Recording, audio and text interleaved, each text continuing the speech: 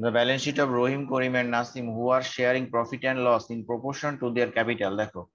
Balance শিটটা রহিম করিম এবং নাসিমের যারা প্রফিট লস ভাগ করবে in proportion to their capital মানে তাদের ক্যাপিটাল অনুযায়ী তাদের লাভ লস ভাগ করবে স্টুডেন্টস ফলোস অন একত্রিশ ডিসেম্বর দুই হাজার চোদ্দ। তাহলে একটু খেয়াল করি আমরা আমাদের সাধারণত অংশীদারদের পুরাতন একটা রেশিও দেওয়া থাকে বাট এখানে বলে দিচ্ছে যে তাদের লাভ লসের ভাগ করবে তারা হচ্ছে তাদের ক্যাপিটাল অনুযায়ী। ফার্স্ট কথা হচ্ছে আমাদের একটা ক্যাপিটাল রেশিও জানতে হবে। মানে ক্যাপিটাল থেকে তাদের একটা রেশিও বের করে নিতে হবে। তাহলে দেখো এখানে রহিম বিশ হাজার, করিম পনেরো হাজার নাসিম হচ্ছে দশ হাজার ছিল।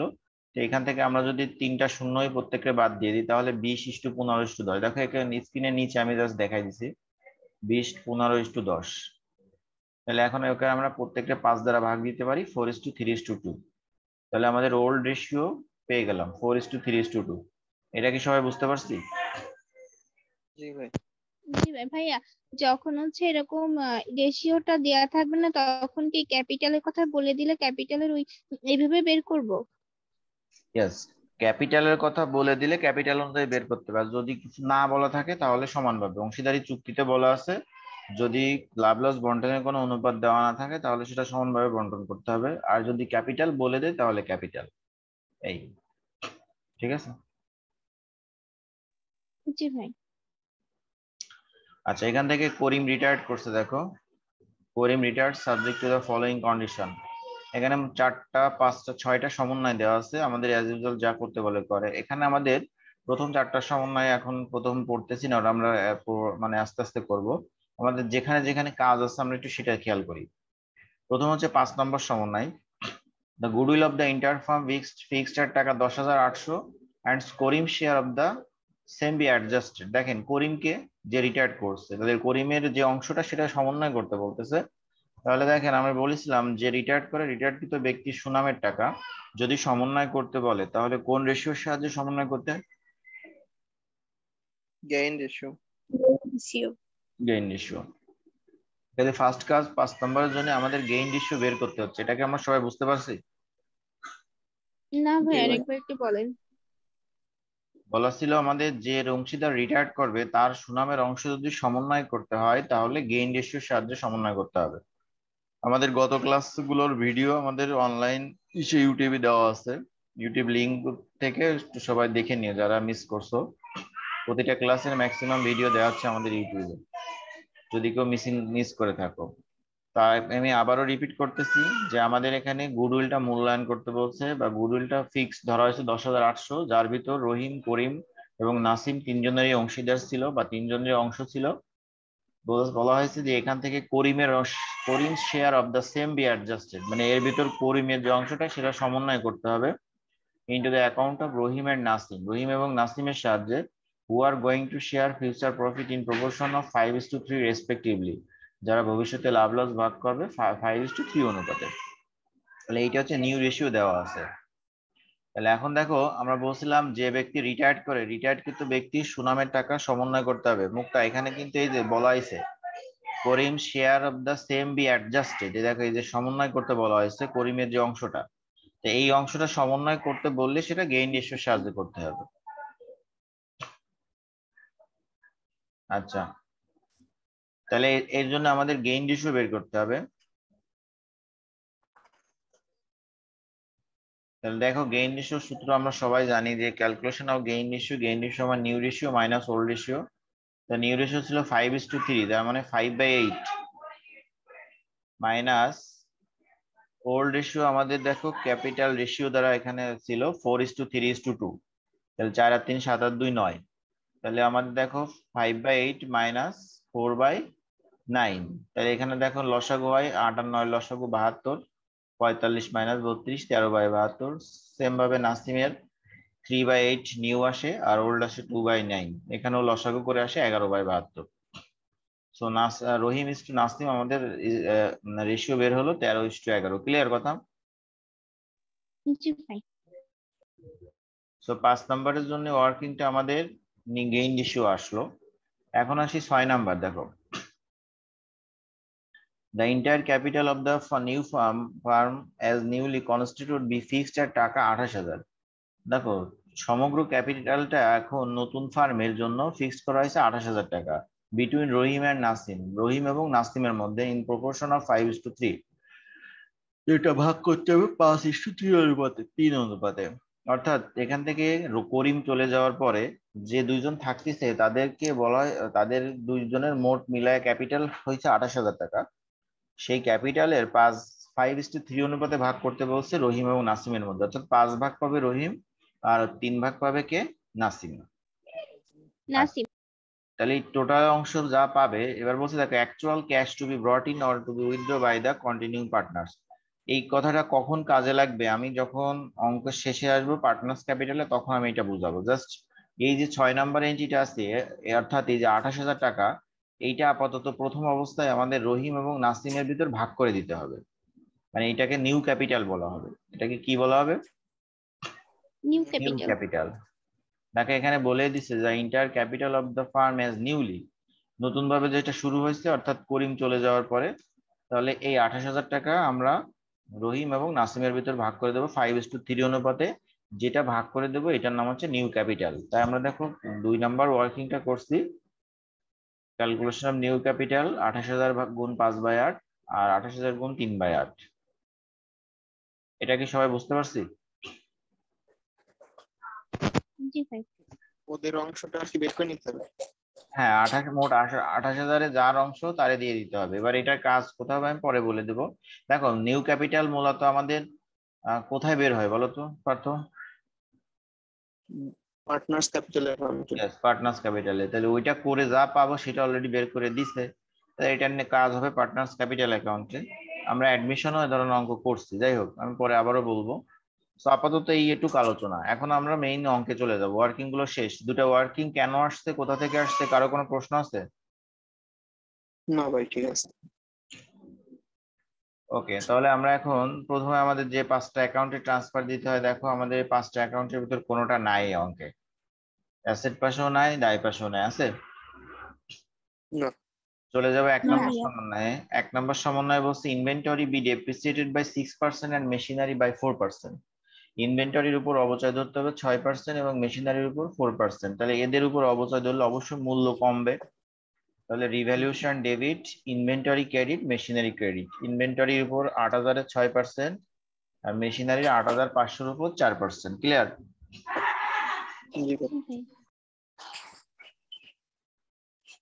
আচ্ছা নাম্বার টু তে দেখো allowance for doubtful debt be brought up to five percent on account receivable অনাদায়ী পাওনা সঞ্চিতি আনতে হবে নিয়ে আসতে হবে পাঁচ পার্সেন্ট দেনাদারে দেনাদারের উপর। মানে আরও পাঁচ পার্সেন্ট আনতে হবে। তাহলে দেনাদার আছে আমাদের দেখো অ্যাকাউন্ট রিসিভেবল ছিল পাঁচ হাজার। অ্যাকাউন্ট রিসিভেবল কত ছিল? পাঁচ হাজার। এইটার উপর আর পাঁচ পার্সেন্ট হাজার। পাঁচ হাজারের পাঁচ পার্সেন্ট পর্যন্ত আরও আনতে বলছে। তাহলে পাঁচ হাজার পাঁচ পার্সেন্ট কাটলে কত হয়?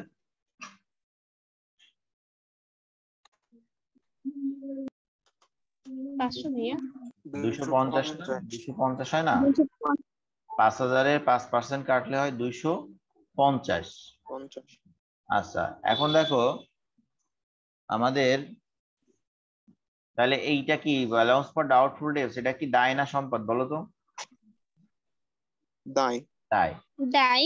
তাহলে দেখো তাহলে দেনাদারের উপর পাঁচ পার্সেন্ট কাটলে হয় দুইশো পঞ্চাশ টাকা। তাহলে এইটা আমাদের রাখতে বলছিল তাহলে মোট দুইশো পঞ্চাশ টাকা কিন্তু অলরেডি অ্যালাউন্স রাখা আছে কত? একশো টাকা। একশো টাকা তাহলে আমরা বৃদ্ধি করব কত? একশো পঞ্চাশ। একশো পঞ্চাশ টাকা আরও বৃদ্ধি করব। তো revaluation debit allowance credit clear জি ভাই। এবার আসো তিন নম্বরে দেখো। এ ক্লেম ফর এই ড্যামেজ জায়গা যদি শুধু হ্যাঁ। অনাদায় দেনা ঘটে অনাদায়ী দেনা বলতে? ব্যাড ডেপ সৃষ্টি হতো তাই? জি ভাই। তখন তো যাবে দেওয়া অন্যরকম হইতো। Revaluation debit account receivable credit তখন তো অ্যালাউন্স বাড়ানো কমানোর ফ্যাক্টর ছিল না। আচ্ছা Number three, a claim for damages has arisen against the farm and a liability to the extent of টাকা তেরোশো তিরিশ be created. তাকে এ ধরনের একটা এন্ট্রি গতদিন ক্লাসও ছিল। ছিল না? জি ভাই। দায়. সৃষ্টি করতে হ্যাঁ, হবে। দায় সৃষ্টি করতে হবে revaluation debit claim for damages credit আচ্ছা এবার হচ্ছে চার নাম্বার। ছয় নম্বর বলছে land and building be appreciated by twenty percent land এবং বিল্ডিং অ্যাপ্রিসিয়েটেড মানে বৃদ্ধি করতে হবে কত পার্সেন্ট বিশ পার্সেন্ট তাহলে সম্পদ বাড়লে কি হবে? সম্পদ ডেবিট ডেবিট হবে। ডেবিট আর রিভ্যালুয়েশন ক্রেডিট ক্রেডিট ওকে আচ্ছা পাঁচ নম্বরের জন্য জাবেদা মুখস্থ কি বলেছিলাম? যে যে রিটায়ার্ড করে তার অংশ যদি সমন্বয় করতে হয় তাহলে জাবেদা কি ছিল? যে চলে যাবে সে ক্রেডিট যারা থাকবে তারা ডেবিট Yes, আমি বলছিলাম সহজে যারা থাকবে ডেবিট দিয়ে চলে যাবে ক্রেডিট এটা মনে রাখতে হবে। তাহলে আছে হচ্ছে কে কে আমাদের এখানে? রহিম এবং নাসিম। নাসিম। তাহলে Rahim's capital debit Nasim's capital debit আর হচ্ছে যে চলে গেছে সে হচ্ছে করিম করিমস ক্যাপিটাল ক্রেডিট তাই তো? আচ্ছা তাহলে এখন আমরা টাকাটা কীভাবে ভাগ করব? আমরা বলছিলাম যে চলে যাবে মানে যার অংশ সমন্বয় করতে বলবে তার টাকাটা আগে লিখতে হবে তাই তো? যে চলে যাবে বা যার অংশ সমন্বয় করতে বলবে তার টাকাটা আগে লিখতে হবে। এখন এখান থেকে যেহেতু করিম চলে গেছে তাহলে করিম ক্রেডিট করছিলাম করিমের অংশটা আগে লিখতে হবে। করিমের অংশটা আগে লিখতে হবে। তাহলে মোট গুডউইল হচ্ছে দশ হাজার আটশো। এই দশ হাজার আটশোর করিমের অংশ কত হবে বলতো?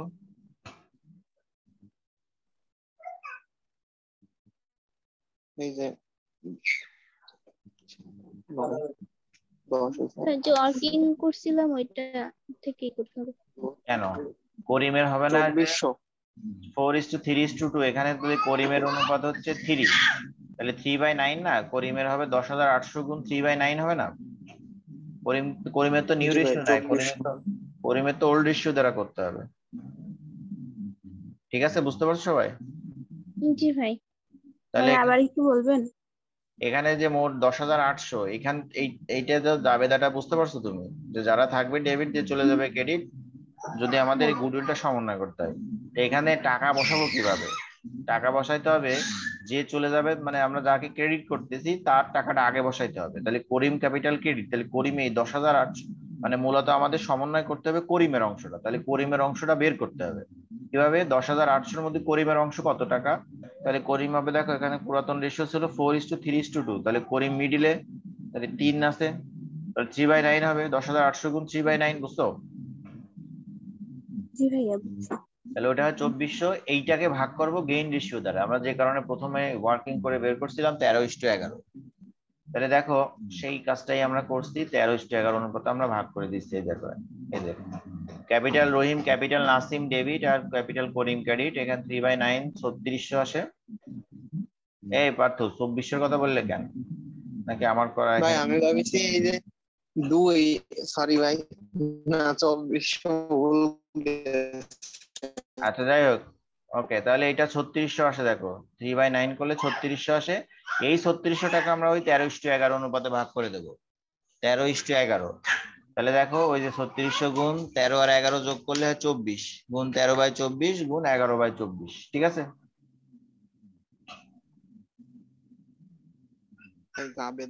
তো দেখা আছে। এই স্ক্রিন শেয়ারে দেখতে পাচ্ছ না তোমরা? জি ভাইয়া হ্যাঁ দেখা যাচ্ছে তো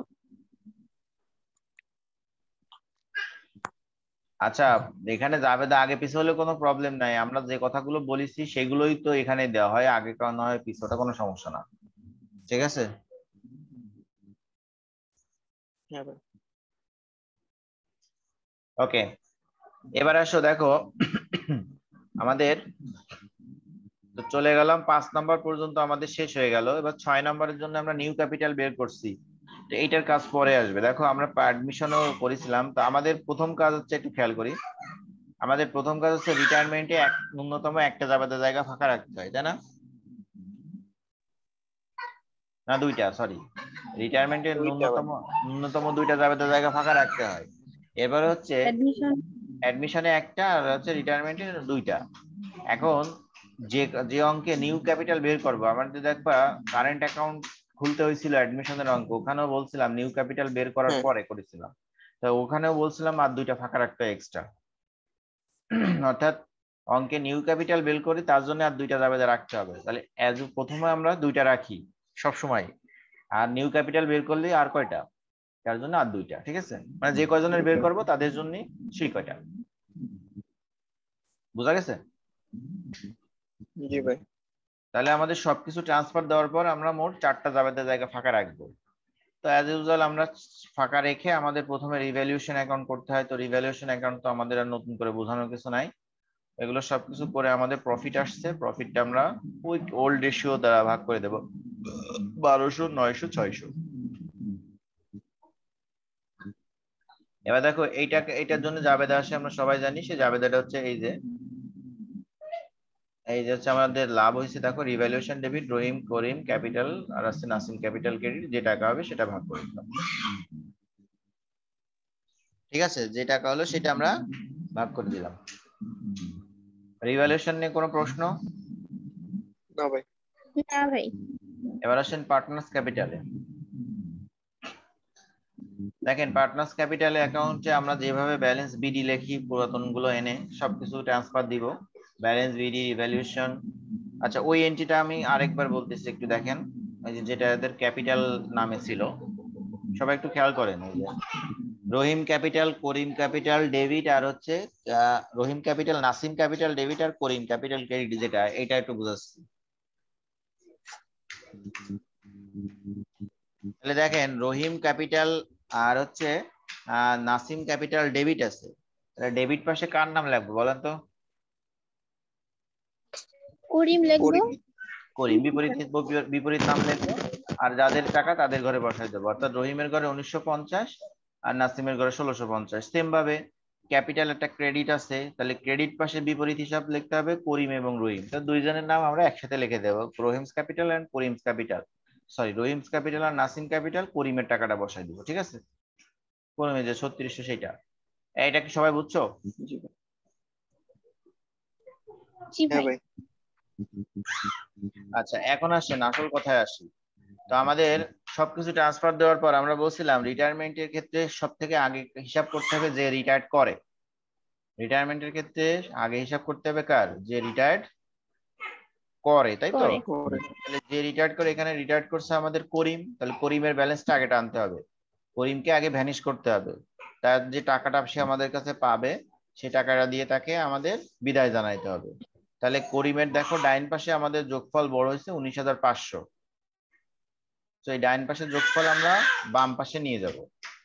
বাম পাশে নিয়ে দেখো উনিশ হাজার পাঁচশো এর কোনো ঘাটতি নাই ক্যাপিটালের কোনো ঘাটতি নাই। এর ক্যাপিটালের কোনো ঘাটতি নাই আছে? না ভাইয়া। আচ্ছা তাহলে ক্যাপিটালের ঘাটতি নাই মানে এই সব টাকা আমাদের কাছে পাবে। এবার এই টাকাটা আমরা বলছি দুই ভাবে দেওয়া যাবে হয় লোন না হয় নগদে তাই তো? হয় নগদে না হয় লোন আচ্ছা তাহলে এখন দেখতে হবে সে আমাদের কাছে যত টাকা পাচ্ছে আমার ফার্মে তত টাকা দেওয়ার মতো ক্ষমতা আছে কিনা। যদি থাকে নগদে তাহলে নগদে দিব না হলে সম্পূর্ণ টাকা কিসে দিব? লোনে দিব তাই তো? লোনে দিব।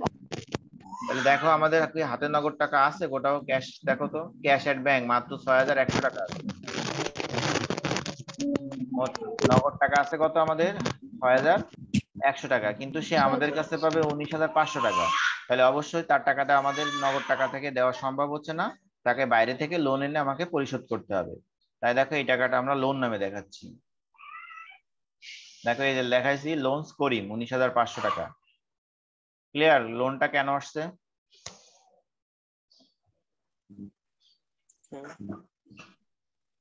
এই কথা বলতে হবে তো? হ্যাঁ না কিছু বলো না কেন? হ্যাঁ ভাই। ওকে তাহলে লোন ভাই, আস বুঝছি তাহলে এটার জন্য জাবেদা কি হবে বলো তো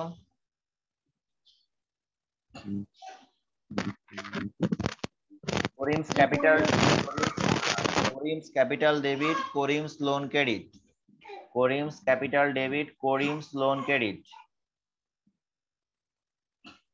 এই যে দেখো capital Karim debit loan Karim credit একই কথা। ঠিক আছে? উনিশ হাজার পাঁচশো টাকা। তাহলে ওই চারটা জাবেদা বলছিলাম তার দুইটা হয়ে গেল। একটা হচ্ছে রিভ্যালুয়েশনের প্রফিট আর একটা হচ্ছে যে ব্যক্তি রিটায়ার্ড করছে তার লোনের টাকা কীভাবে আমরা পরিশোধ করছি সেভাবে। ঠিক আছে? আচ্ছা এখন দেখো আমাদের আহ, থাকল বাকি যে দুইজন। বাকি থাকল কে কে? থাকল হচ্ছে রহিম এবং নাসিম তাই তো? তাহলে আমরা অ্যাজ ইউজুয়াল কি করতাম বলো তো? এদের ব্যালেন্স সিডিটা আনতাম না?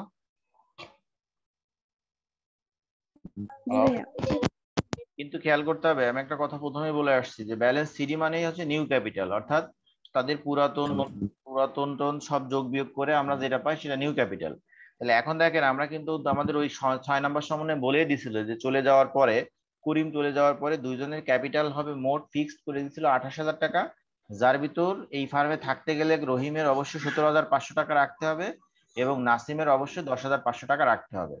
মানে এই মোট আঠাশ হাজার টাকা এই ফার্মের তাদের অংশীদারিত্ব হিসেবে মূলধন রাখতেই হবে। ক্লিয়ার কথা? ভাইয়া। এবার কথা হচ্ছে মনে করো রহিমের সতেরো হাজার পাঁচশো টাকা রাখতেই হবে। তাহলে আমাকে শর্ত দিল ভাই তোমার এখানে থাকতে গেলে সতেরো হাজার পাঁচশো টাকা রাখতে হবে। তাহলে এখন আমি আমার যদি কাছে বিশ হাজার টাকা থাকে তাহলে আমি কি বাকি অতিরিক্ত অর্থ রাখব এখানে নাকি নিয়ে চলে যাব। অবশ্যই নিয়ে যাব আমার এখানে তো রেখে লাভ নেই। সে বলছে যে আপনার ন্যূনতম এই টাকাটা এখানে রাখতে হবে। এখন যদি অতিরিক্ত থাকে তাহলে আমি নিয়ে যাব। আর যদি অতিরিক্ত না থাকে ঘাটতি থাকে তাহলে কি হবে? নিয়ে আসব। নিয়ে আসব। ক্লিয়ার এই টাকার অতিরিক্ত থাকলে নিয়ে যাব।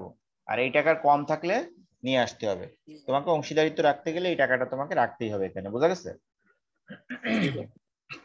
তাহলে এখন দেখেন এই কথাটাই ওই যে আমাদের ব্র্যাকেটের অংশে বলা ছিল দেখে এই যে।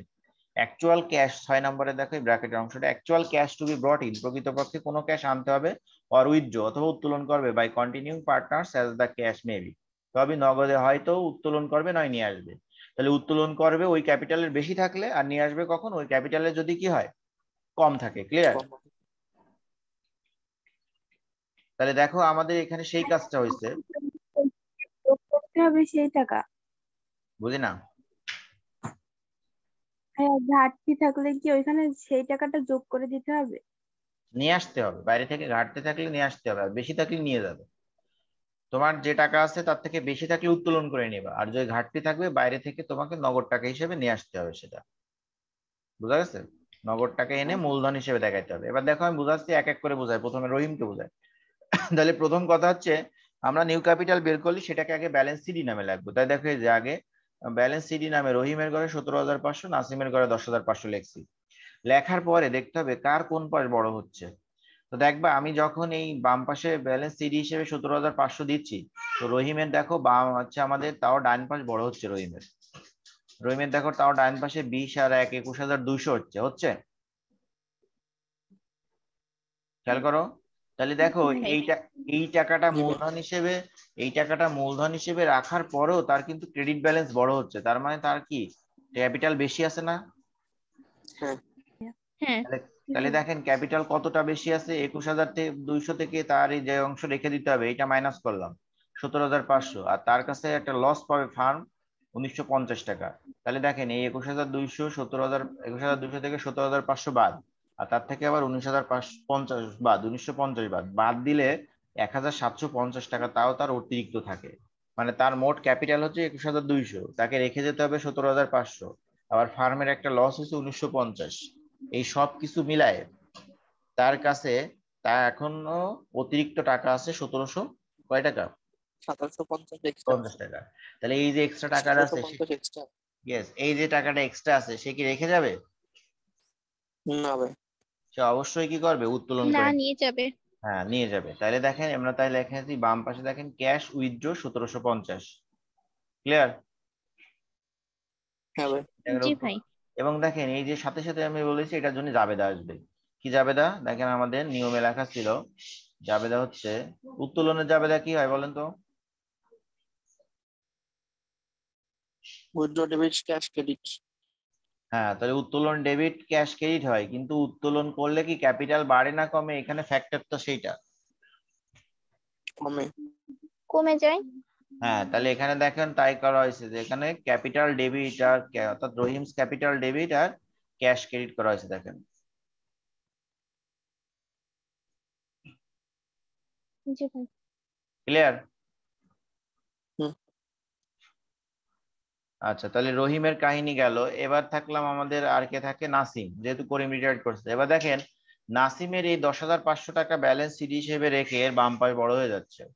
অর্থাৎ এই দশ হাজার পাঁচশো আর এখানে এক হাজার ছয়শো পঞ্চাশ এগুলো যোগ করলে বারো হাজার একশো পঞ্চাশ হচ্ছে। তার মানে নাই নাসিমের বাম পাশ বড় হচ্ছে। বলেন তো ক্যাপিটালে বাম পাশ বড় হলে ক্যাপিটাল কি বেশি না কি ঘাটতি? ঘাটতি। ঘাটতি। তাহলে আমাদের বাম পাশের যোগ হ্যাঁ তাহলে আমরা বাম পাশে যোগফল ডান পাশে নিয়ে আসব। তাহলে দেখেন বারো হাজার একশো পঞ্চাশ এখানে ডান পাশে নিয়ে আসে তার ঘাটতি অর্থাৎ ছিল কতটুকু? দশ হাজার ছয়শো। মানে তার মোট হচ্ছে বারো হাজার একশো পঞ্চাশ টাকা ঘাটতি কিন্তু তার ক্যাপিটাল ছিল দশ হাজার ছয়শো। তাহলে এখন ঘাটতির পরিমাণ দাঁড়াচ্ছে পনেরোশো পঞ্চাশ। এই টাকাটা তাকে নিয়ে আসতে হবে। এই ফার্মের অংশীদারিত্ব রাখতে গেলে তাকে এই টাকাটা কি করতে হবে? নিয়ে আসতে হবে। আসতে হবে। দেখেন এখানে লেখা আছে ক্যাশ ব্রিং পনেরোশো পঞ্চাশ টাকা। ক্যাশ ব্রিং পনেরোশো পঞ্চাশ টাকা ক্লিয়ার? পঞ্চাশ জি ভাই। তাহলে এখানে ক্যাশ আনলে ক্যাপিটাল বাড়বে cash debit Nasim's capital credit পনেরোশো পঞ্চাশ টাকা। দেখেন সে তার একটা জাবেদা দেওয়া হয়েছে। এই আমাদের চারটা জাবেদার ফাংশন দেখেন। দেখেন ক্যাশ ডেবিট ক্যাপিটাল নাসিম পনেরোশো পঞ্চাশ টাকা। এই হচ্ছে আমাদের অতিরিক্ত যে চারটা জাবেদার জন্য জায়গা ফাঁকা রাখতাম চাই চারটা জাবেদার কথা। কারও কি মনে মানে কোনো কথা আছে? এইটুক নিয়ে বলেন। না ভাই নেই। নাই এবার এই যে জিনিসটা বুঝালাম ভাই, এই জিনিসটা অ্যাডমিশনের ক্ষেত্রেও কিন্তু কাজে লাগবে। যে নতুন অংশীদারের যদি মানে নতুন অংশীদার আসার পরে পুরাতনদের ক্যাপিটাল যদি আমাদের বের করা লাগে, পুরাতনদের ক্যাপিটাল যদি আমাদের বের করা লাগে, তাহলে ওইটাই ব্যালেন্স সিডি হবে এবং ওইটা ফার্মে রেখে বাকি টাকা উত্তোলন করে নিয়ে যাবে অথবা ঘাটতি থাকলে সেটা এনে ফিল করবে। ঠিক আছে? এবার সেটা, এবার এখানে নগদে বলছে, ওখানে যদি কারেন্ট অ্যাকাউন্টের কথাটা বলে শুধু আমরা যে পাশে লিখতেছি সেই পাশে শুধু কারেন্ট অ্যাকাউন্ট দেবো। যেমন দেখো আমি আর এক্সট্রা একটু বোঝাই দিয়ে যাই। যেমন এখানে বাম পাশে ক্যাশ উইথড্র লিখছি কিন্তু এখানে লিখতে হবে কারেন্ট অ্যাকাউন্ট হ্যাঁ এই ধরনের আমরা কিন্তু করাইছি। তারপরে এখানে ক্যাশ বিং এখানে শুধু কারেন্ট অ্যাকাউন্ট নামে অন্য নামে লিখতে হবে আর কিছু না ভাই। এই সেম কথা সব আলোচনা একই রকম। আচ্ছা। ওকে এরপর তো আসলো আমাদের ব্যালেন্স শিট তো দেখেন তো ব্যালেন্স শিটে নতুনত্ব কিছু কি আছে আগের মতো? আগের থেকে নতুনত্ব কিছু নাই কিন্তু। যেমন আমাদের নগদগুলো আমরা যোগ বিয়োগ করব। ইনভেন্টরির উপর অবচয় হয়েছে বা ইনভেন্টরি প্লাস মাইনাস করব ইনক্রিজ ডিক্রিজ অ্যাকাউন্ট রিসিভেবল এটা বুঝি, দেখেন। অ্যাকাউন্ট রিসিভেবল মোট আড়াইশো দেখাইতে বলছিল, আমাদের একশো ছিল, দেড়শো আমরা যাবে আরও বৃদ্ধি করছিলাম। তাহলে মোট আড়াইশো, সেখানে পাঁচ হাজার থেকে আমরা এই আড়াইশো বাদ দিব। ল্যান্ড এন্ড বিল্ডিং বাড়াইতে বলছিল মেশিনারির উপর অবচয় দায় পাশে অ্যাকাউন্টস পেয়েবেল দায় পাশে নতুন করে দায় সৃষ্টি হয়েছিল লায়াবিলিটি ফর ড্যামেজেস তেরোশো তিরিশ টাকা। তারপরে হচ্ছে লোন ফ্রম মিস্টার করিম, উনিশ হাজার পাঁচশো টাকা। এই হচ্ছে আমাদের, তারপরে তো ওনার সিকিউরিটি না লেখে আমরা ব্যালেন্স শিট হিসেবে যে ক্যাপিটালগুলো লিখি ব্যালেন্স শিট দিছিল তো বলেই দিছিল, নতুন ক্যাপিটাল বের করছে সতেরো হাজার পাঁচশো, দশ হাজার পাঁচশো, আঠাশ হাজার, দুই পাশ মিলে গেল। দেখেন ওভারঅল ব্যালেন্স শিট নিয়ে কোনো প্রশ্ন আছে কিনা? সবাই কি সব পেজ স্ক্রিনশট দিতে পারছেন। এই অঙ্কটা কিন্তু সব থেকে বড় রেওয়ামিল ইসের ক্ষেত্রে রিটায়ারমেন্টের সব থেকে বড় অঙ্ক হচ্ছে এইটা।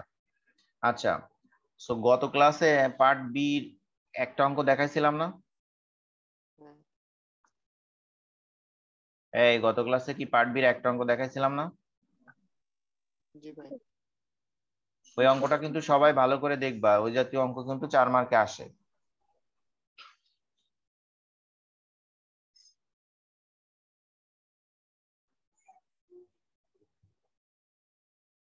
এই যে এইটা দেখাইছিলাম না এই যে এ বি যদি গুডউইল থাকে আর ই থাকে এটা না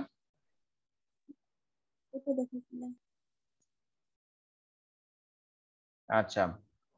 এই যারা যারা ছিলে না একটু নিয়ে নিতে পারো। আমি আজকে কিন্তু ক্লাস শেষ করে দেবো রিটায়ারমেন্টে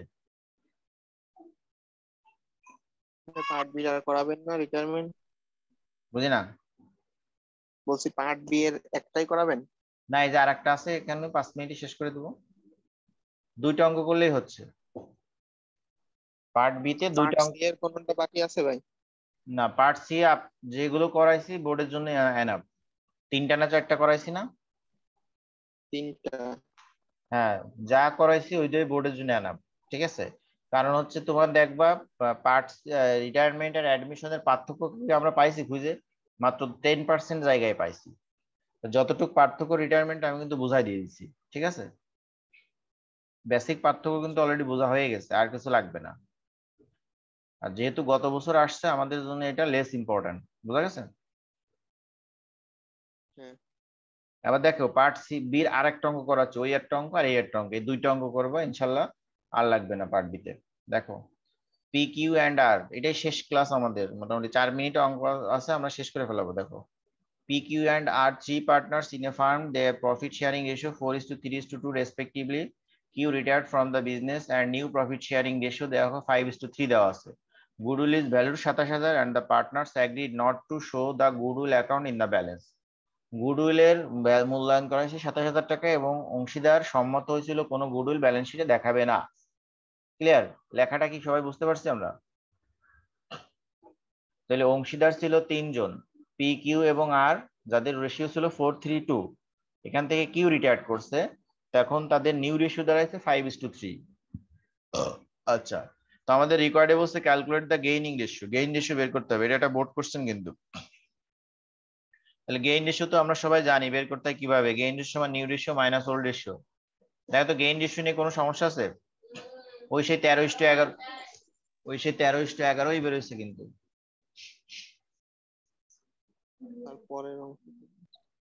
হ্যাঁ বুঝতে পারছ একটু? জি ভাই গেইন রেশিও ঠিক আছে। And বলছে show the treatment of goodwill at the retirement of Q Q retirement করার পরে গুডউইলের ট্রিটমেন্টটা কি হবে? ট্রিটমেন্ট মানে গুডউইলের লেনদেনটা কীভাবে আমরা করব? তাকে যেটার জন্য আমরা গেইন রেশিও বের করি তার ট্রিটমেন্টে আমরা কি করি বলো? অ্যাডজাস্টেড দাদা ইয়েস এইটুক কিন্তু এখানে বুঝতে হবে। যার জন্য আমরা গেইন রেশিও বের করি তার জন্য কিন্তু অ্যাডজাস্টেডে যাওয়া দিতে হয়।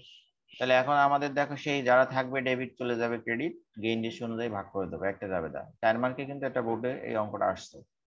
দেখো তো কারও কোনো সমস্যা আছে? যারা থাকবে ডেবিট চলে যাবে ক্রেডিট আমরা ভাগ করব সাতাশ হাজারতে যে রিটায়ার্ড করবে তার অংশ টাকাকে বের করে নেব।